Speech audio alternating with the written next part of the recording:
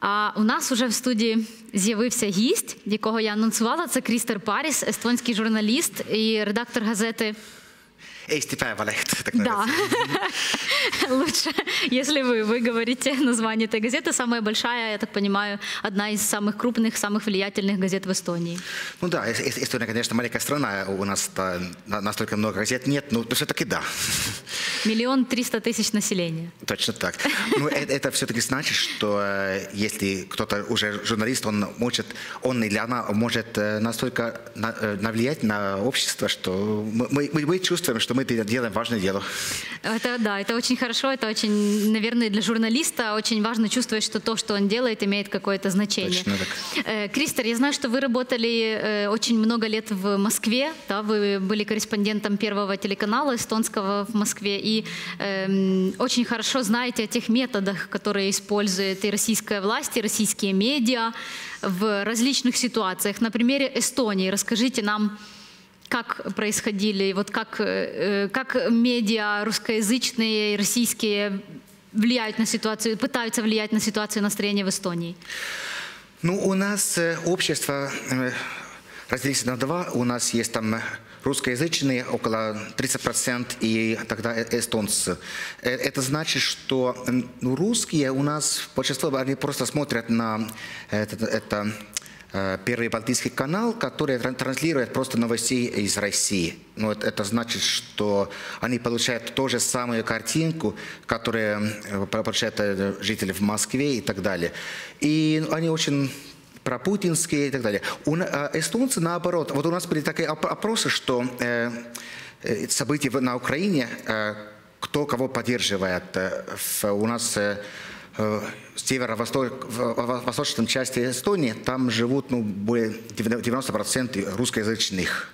И там так, что 80% поддерживало Путина или, или версию России, и только 20 э, западных стран или, или Украину. А в эстонскоязычном на- населении это наоборот. Это очень э, сильно говорит о влиянии российской пропаганды. На эстонцев это на- настолько не работает, насколько эстонцы просто у нас есть это языковый барьер, на- настолько не, посмотрят на, на, на- русское телевидение. Но это все просто э, результат того, что да, у нас есть э, свободно, мож- можно смотреть э, все российские телеканалы, и часть общества посмотрит на них, а часть нет. В- вот вы говорите о той русскоязычной части, да, которая 80% получается поддерживает Путина. Это почти как в России. Является ли это проблемой для Эстонии? Потенциально, особенно там, ну, уч- учитывая амбиции Путина э, возрождать и дальше русский мир на других территориях? В принципе, да. Вот э, особенно э, где-то в апреле, мае э, были очень э, огромные э, огромный страх там у нас в Эстонии, что э, они будут использовать э, то, то же самые методы там. И сейчас, например, э, происходят э, уже дискуссии, э, дискуссии закончили, у нас э, будет со- составлен э, новый русскоязычный телеканал, например, э, чтобы противостоять этой пропаганду. Ну, конечно, э, все умные люди, они понимают, что вряд ли мы можем очень, э, очень, очень, очень много делать против э, такой массовой э, информационную кампанию. У нас просто не хватает средств. э, И, ну, хотя мы что-то э, попробуем. У нас да, то- то- тоже были там дискуссии об этом, если, может быть, э, закрывать эти телеканалы, чтобы э, вы- выключить из наших э, сетевых каналов. Но, но мы получили к, к результату, что а, если мы это будем делать, мы, мы будем э, себя вести как, как они. Это значит, что мы так, так не хотим, мы нигде какой-то цензуры не будет и так далее. Так что сейчас у нас просто есть э, такая надежда, что а, насколько уровень жизни в Эстонии настолько выше, чем в, в- в России. Мы, мы не говорим о, о Москве, а о, о этих районах, которые близко у нас. Э, Просто то- тоже, что опросы показывают, что эти люди, которые поддерживают в полностью версию Путина Украины, а, они никак, никак не хотят сейчас соединяться с Россией. Но там, конечно, э, наши, наши ученые, которые там э, живут в Нарве, например, это, это город э, на границе с Россией, Они говорят, что, конечно, это такой э, не, не, не стопроцентная позиция, что это все может изменить, когда, например, туда на э, восточный берег реки Нарва э, приезжают российские войска. Кто знает, что так тогда. Так что, да, это, это, конечно, у нас потенциальная проблема.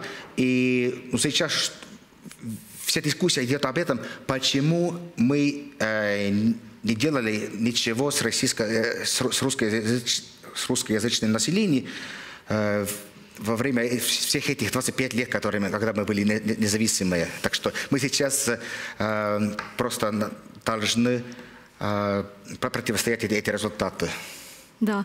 Э, вот вы вспомнили о том, что экономическая ситуация все-таки в Эстонии э, намного лучше, чем в России. Это, наверное, та сильная сторона, которая по сравнению с Украиной есть у Эстонии, да, чем она может даже mm-hmm. вот этих граждан, которые смотрят российское телевидение, э, привлекать. И я вот вспомнила, как раз читала пост коллеги нашего журналиста Виталия Сыча, который сейчас в Таллине. И вот он как раз тоже писал о том, что он общался с одним из эстонцев там. И вот я просто процитирую слова этого человека человека, может, мы сможем показать этот пост э, на экране, вот, он говорит, э, этот эстонец, что э, они, конечно, могут путаться, они же смотрят российское ТВ, но они же не идиоты, пенсии и зарплаты у нас вдвое выше, чем в России, переезжать в Санкт-Петербург дурных нет, у нас пенсия 400 евро, а у них где-то 200. Вот такой простой рецепт сохранения территориальной целостности, пишет наш коллега, да, на самом деле, наверное, это все-таки важный фактор, пропаганда, пропаганда, а есть реальные условия, в которых люди живут, и все-таки, чтобы чтобы им с телевизора не рассказывали, когда они видят, что ну, там, жизнь в этой стране или в этом регионе намного лучше, чем в ну, другом. Да, конечно, конечно. Это, это, это такая ситуация, если смотришь в окно и говорят, что там светит солнце, а, а в реальности дождь. Ты, ты же не веришь, что это солнце. А если вот говорят, что через 100 километров э, там солнца, а не дождь, тогда уже будешь сомневать. Ну и там, конечно, есть вот такие разные, разные версии, что делать э, с, с населением там в северо-восточном Эстонии. Э, например, наш бывший премьер Андрус Ансип, он сказал, что никакой телеканал не нужен, это просто ну, кто, кто это будет, будет, будет смотреть. Мы никогда не будем, можем Э, противостоять российской пропаганду, это значит гораздо лучше построить что-то, хоть э, дорогу для велосипедов, хоть новые бассейны, типа такого, чтобы просто показать, что у нас здесь лучше жить. Но есть и, и другие мнения, конечно. Ну да, это все-таки mm. есть какая-то борьба за умы тоже, да, не только там за желудки, не только да. показать, что хорошая жизнь, но на идеологическом каком-то уровне все равно. Это просто у нас вот самая главная проблема с э, русскоязычными в том, что очень много из них, они не чувствуют, э, что они часть общества, что они э, могут э, найти свое место в, в нашем государстве, и что вот с ними есть такая проблема, может быть, как здесь на, на Донбассе, что люди не чувствуют, что от них что-то зависит. И поэтому а, они посмотрят на прекрасные кадры из Москвы, которые богатые, которые богатые, которые, где люди вроде бы живут хорошо, где есть порядок, и ну, они понимают, что хорошо, у нас там и в Ивангороде, который за границей, все плохо, но все-таки это же э, периферия, но там, где Путин, там все хорошо. Вы 10 лет э, работали в Москве. Не 10, 5. 5, да? да? Угу. А в какой период это было? И как вот вы э, во время, да, вот в этот период, как вы замечали, какие изменения даже в э, самой работе российских медиа, в работе к отношению к иностранным журналистам, к вам как к журналисту из Эстонии? Ну, это был интересный период. Насколько было э, время Медведева. Я, я, я начинал э, сразу после войны э, в Грузии. Э, и ну, в, в это время в России они попытались разные э, формы правительства. Они попытались там, эм, э, включать мнение людей. Они попытались... Э, если бы дать побольше свободу. И это было очень, очень интересно. И в то же время а, а, а, а результатом были эти, вот как я называю, белые революции, так, и, э, огромные марши и так далее. Это значит, что они где-то в конце концов решили, что это была ошибка, если смотреть со стороны Кремля. И как журналистам работать было, ну, в принципе, не, не так плохо, как можно ожидать. Там, особенно во время Медведева, были разные круглые столы, там разные дискуссии, очень свободно. И особенно, когда я работал как иностранный корреспондент, для иностранцев почти никаких ограничений не было. Конечно, если бы ты хотела комментарии от Кремля, от правительства, там была бы просто стена, но так как такие закрытые общества. Но из парламента ты, ты смогла ты бы, ты бы смог э, послушать очень разные мнения. Э, большинство из них такие сумасшедшие. Там очень много э, клонов есть в, в Госдуме. Не только Жириновский. Не только Жириновский. У нас там, например, тогда, когда я начинал, был Сергей Марков. Никто его не знает, но он... В Украине знают. Ага. Он, он, да, он очень известный у нас там, в принципе, если хочется э, спросить, а сколько времени, тогда он ну, я не знаю, как, у вас там фашистская Эстония, но у нас есть вот так, так и так. Вот так, так и, такой смешной человек. Э, ну, самое главное, что несколько людей э, в Эстонии принимают его всерьез.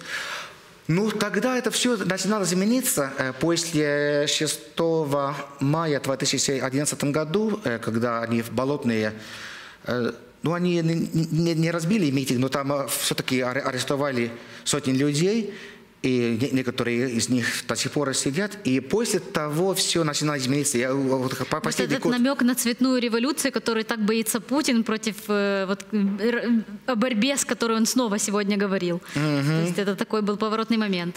Точно.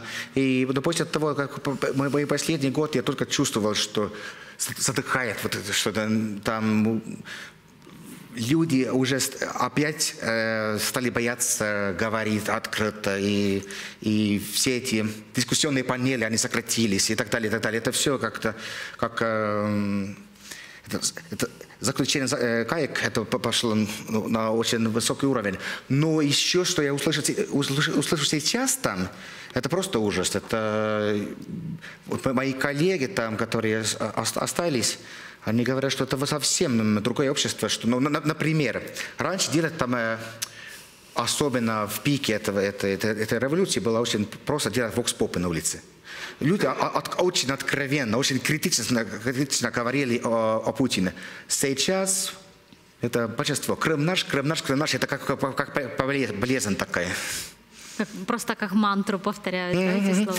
Да, они, вот, у них есть такое, такое мнение сейчас, что э, Россия окружена враг, врагами, и, и надо быть патриотами, и говорить, что надо. И это, насколько я услышал от коллег, вот это очень сильно из, изменилось. Э, Кристер, вот вы упомянули о том, что э, называют Эстонию фашистской в России, да, и российские медиа, то есть сейчас Украина уже фашистская, фашисты, хунта и так дальше, которые захватили власть в Киеве, но на самом деле эта же риторика о фашистах, она не, не новая, да, и Эстония через это тоже прошла, когда была история с бронзовым солдатом. Расскажите, пожалуйста, немножко больше о том, как, как тогда э, вот э, представляли эстонцев там российские СМИ и насколько вообще вот эта фашистская карта, она в странах Балтии разыгрывается Россией? Это, это очень интересно. Например, э, если я спрошу в, э, в Москве, э, как, какое ваше представление о Эстонии, тогда они начинают говорить, вот у вас там марш эсэсовцев и так далее. В реальности эти марши есть, но в Латвии, а не в Эстонии. Так что они уже, уже сильно перепутают. Ну, с прозванным солдатом, во-первых, я думаю, что это вообще была ошибка. Там стоял какой-то солдат, освободитель. Я жил там рядом и даже не заметил, что так, там есть такой памятник. А вдруг э, одна наша, наша правящая партия решила, что это может быть э, хороший инструмент, чтобы повысить свою популярность. И решили его перевести. Это делали так... Э, где-то в ночи, так это очень тайно. И, конечно, э, для русскоязычных людей, для многих из них это сакральный символ, и они пришли это защищать. И там, конечно, были еще, наверное, э, работали с массом э, людей, работали спецагенты со стороны России. Ну, хотя так, так нам говорят, я сам ни, ни, ни того не видел, но скажем, что это так, так было. И ну, да, были такие беспорядки. После того, или уже во время этого, во- ну, это, эта фашистская карта, я бы, не- я бы не сказал, что это по- побольше играли, сыграли, чем, чем раньше. Э, Да мы уже при- привыкли, уже в э, советские времена э, эстонцы всегда в советских фильмах играли нацистских офицеров. Так что то, что- у нас есть такая... эм, Иммунитет Им- уже выработался, Да, в потому что называют фашистами. И я думаю, что иногда мы больше нервозные об этом, че- чем, чем русские сами. Э, ну, те- русские, которые там живут в Эстонии, они же видят, что там у нас э, концлагеров нет, у нас э, никого, ну, в принципе, не, дис- не дискриминируют. Хотя это, это можно сказать иногда, вот если по- посмотришь на, на- на статистику, у э, русскоязычных есть э, меньше зарплаты, у них, э, у них есть э, повыше, э, как это, неработность нет, это Безработица. Без- безработица, Безработица, точно, да, да. И так далее. Ну, но это все связано с этим, что просто если не говоришь э, эстонский язык, трудно найти э, работу, которая хорошо платит. Но с другой стороны, очень много было лжи в российском телевидении. Ну, например, что у них не- нет э, там гражданских прав, а а это наоборот, например, даже без, без граждан они могут э, голосовать на местных выборах и так далее, и так далее. Так, так что, ну, так, такие лжи были. Э, но я думаю, что это как, как нашу картинку в, в мире очень много не, не мешало, не, не, не- оскорбило на- нас. В том- смысле, что те, те, те русские, которые думали, что мы уже фашисты, ну, они, да, они стали злым пр- против Эстонии, но это вот как э, э, вот после, например, двух-трех лет в Москве, я вообще ничего такого не чувствовала. Они сказали, да, у вас там был, как, была какая-то проблема, мы знаем, как с каким-то солдатом, у нас такие проблемы. Ну, так что если э, Кремль, например, э, решает, что надо на- начинать какую-то кампанию против Эстонии и Латвии, тогда, конечно, все это обс- обсуждают, они знают, что вот какие-то проблемы. Но, с другой стороны, Эстония, это, это, это точно полтора миллиона, это же меньше, это маленькая часть Москвы. Э, Это, это не то, о чем э, русские люди каждый день думают. Нет, э, мы это все очень хорошо пережили. Спасибо большое, Кристер.